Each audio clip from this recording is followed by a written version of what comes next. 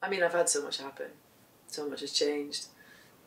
I've followed my path of truth and ended up in a different place.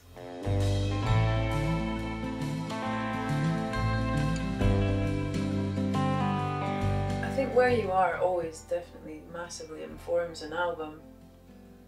But here is like sort of coming to a different planet. Spinning my way apart, losing my pieces all. Time's longer in Tucson.